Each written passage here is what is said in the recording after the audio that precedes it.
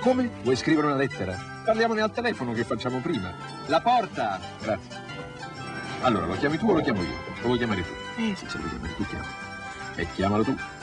Guarda, lo chiami tu e lo chiamo io. Lo chiamiamo